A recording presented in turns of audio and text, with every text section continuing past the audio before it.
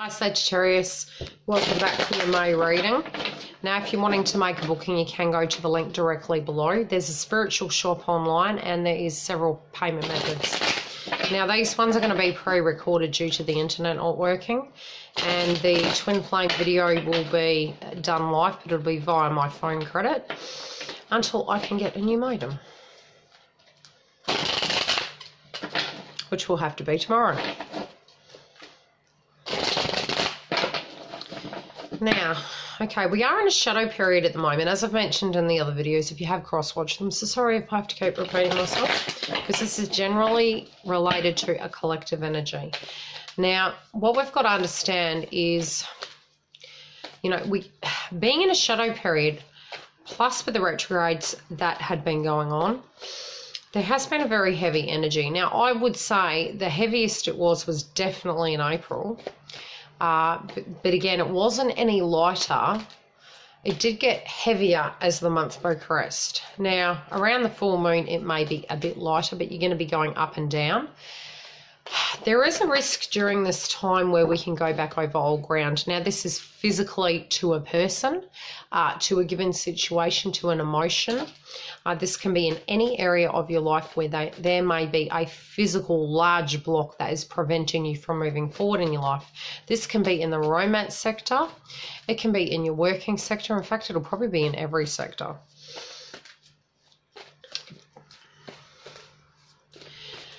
Now, you guys have done a great deal of purging. You do feel super tired. You also do feel as though at times you're getting quite run down and you do need to pay attention to your health.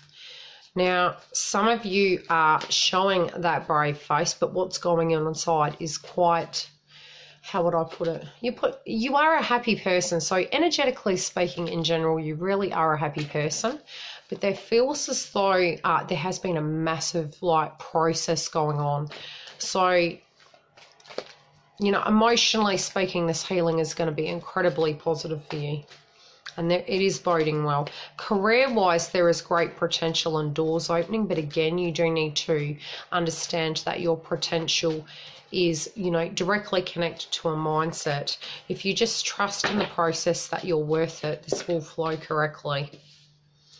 It can be that some of you do wish to move on from a position that you're doing, but you're feeling directly emotionally blocked. So I do feel the purging that you're doing and the emotional healing is directly connected to a block and what you're thinking you're entitled to.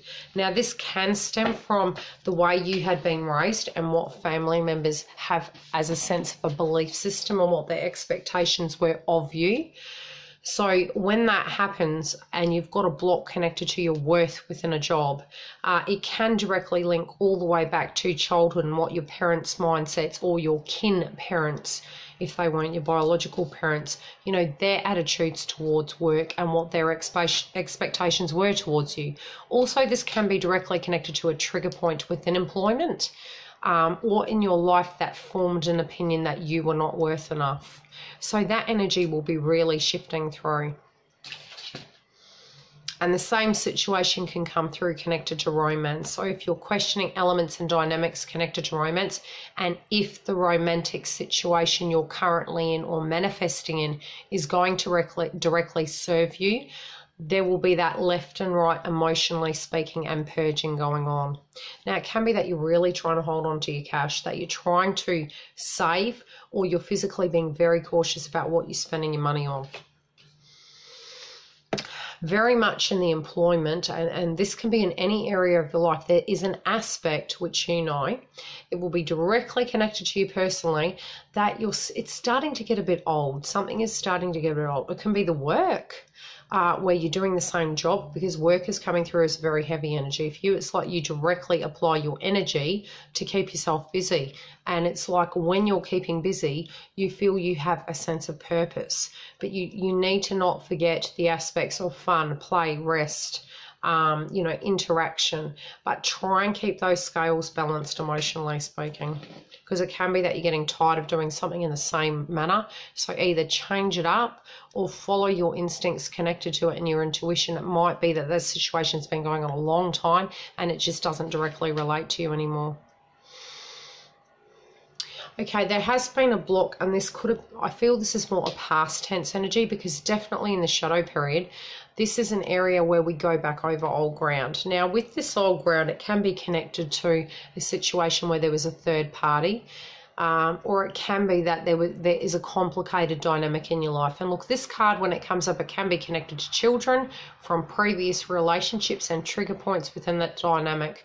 But again, it can be even the paranoia connected to that and the emotions connected to that physical dynamic. So that's very much going to be coming up this month in your mind or on a 3D level.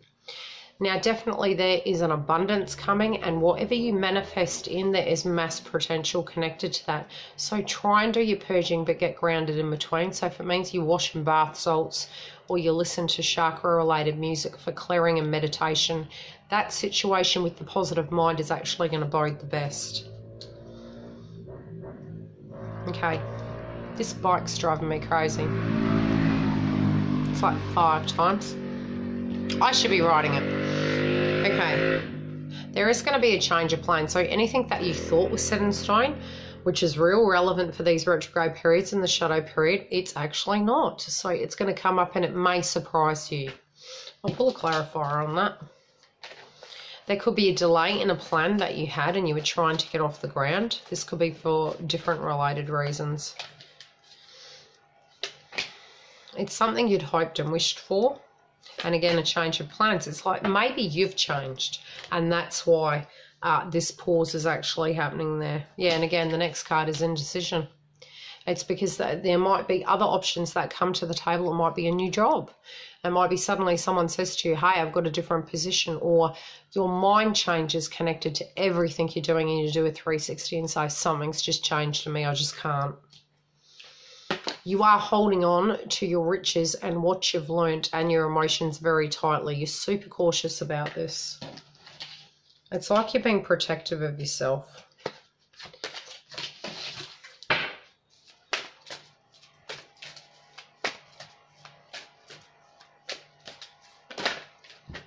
Okay, your intuition is guiding you correctly. Oh, we've got jumpers today. Okay, your intuition's very important. Please trust it. It's telling you the truth. Also, you are going to take action, and it's going to be very passionate, firm action. It's going to be very quick. Feels very quick. It might be connected to your home, a change of home, a move from home, or leaving a home. But it's what you're passionate about. It may be connected to a brand new job you get. Okay, you're going to be very passionate about this. It will be your internal compass of what you think is correct. Children may be involved in this situation, or it's a happier, playful environment, a healthier environment, perhaps.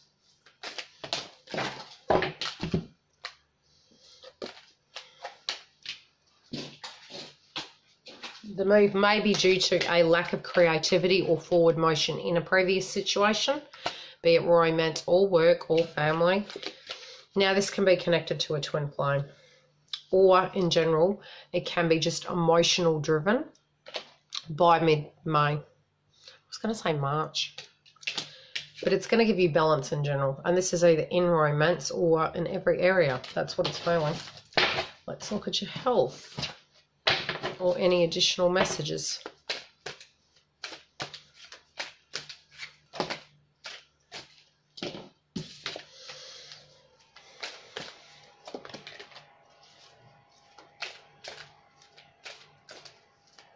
Okay, physically speaking, you might be questioning the aspects of life and death. Some inheritance related matters might be coming through. It can be that, you know, you're questioning life after death and the philosophies of such. Okay, complaining about complaining is still complaining. So you're realizing that unless you do something and you apply energy, you're not going to get a different outcome. By visualizing what you're wanting to happen, you're going to get the best out of the situation. For some of you, I do feel travel.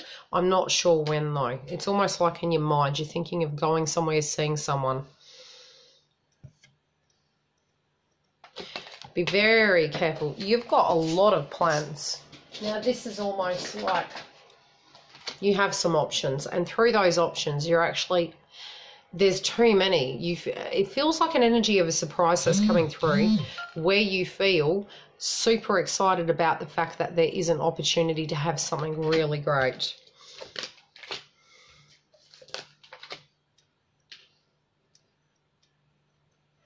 Okay, try and rewrite that story. And it feels as though you're going to choose to rewrite a story as such. But you do need to pay attention to your health because it has been under focus for a while. But it feels as though some aspects need to have a look at. Agreements.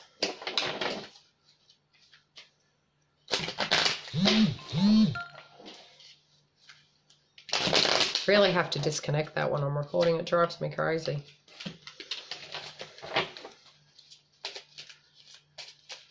Okay, there is a celebration coming up, so there might be a party that you're attending, a celebration, but there's something happy about to occur.